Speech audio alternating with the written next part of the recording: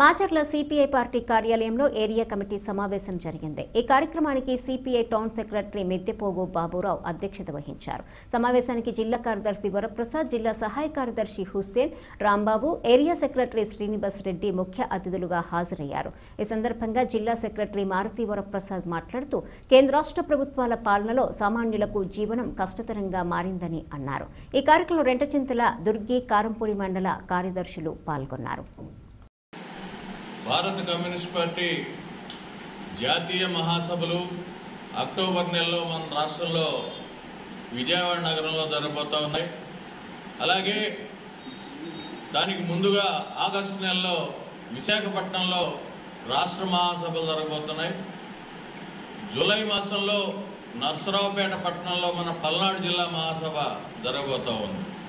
దీనికి ముందుగా ఈ జిల్లాలో ఉన్నటువంటి అన్ని నియోజకవర్గాల్లో శాఖలు మండల మహాసభలు పూర్తి చేసుకొని నియోజకవర్గ మహాసభలు కూడా పూర్తి చేసుకోవాల్సినటువంటి పరిస్థితుల్లో అన్ని నియోజకవర్గాల్లో కూడా ఈ నియోజకవర్గ మహాసభలు మండల మహాసభల ప్రిపేర్ చేసుకోవడానికి ఆ విధంగా ఈరోజు ఈ కమిటీ సమావేశం వేయటం జరిగింది.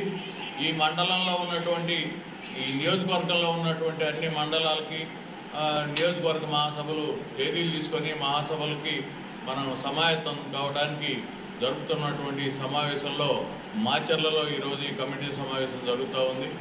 ప్రియమైన సోదరులరా ప్రియమైన కామ్రేడ్స్ ఈ రోజున దేశంలో కేంద్ర ప్రభుత్వం కానివ్వండి రాష్ట్ర ప్రభుత్వం కానీ ప్రజా వ్యతిరేక విధానాలు అవలంబిస్తూ ఉన్నారు. అయితే శివలింగాలు బయటపడతాయట.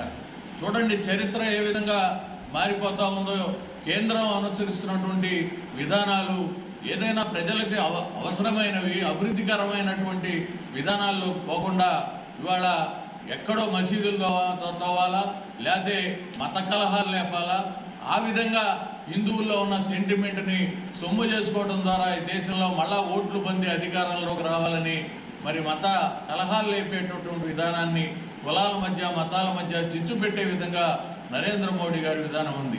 ఈయన అధికారంలోకి వచ్చినప్పుడు ఆనాడు కొంతమంది హిందువులు రెచ్చగొట్టే వాళ్ళ మీద చర్యలు తీసుకున్నారు. అంటే ఒక బీజేపీ పార్టీ వాళ్ళే చర్యలు తీసుకున్నారంటే ఎలాంటి ఘటనలు జరుగుతున్నాయి ఈ దేశంలో అనేది మనం అర్థం చేసుకోవాలి. ఉత్తరప్రదేశ్లో చూస్తే మూడు వేల నుంచి నాలుగు వేల మందిని చంపబడ్డారు ముస్లిమ్స్.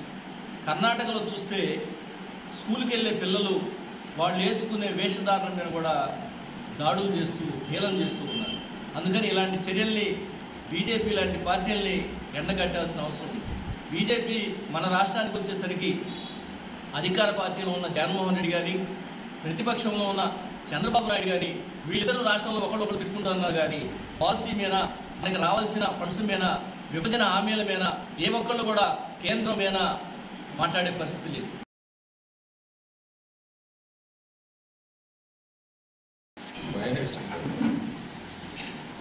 అందరం కలిపి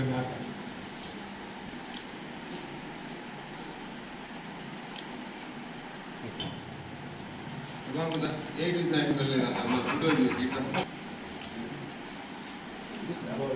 పట్టుకొచ్చిందా? చెయ్యాలి సార్ అర్జున్ చెయ్యాలి అట్లా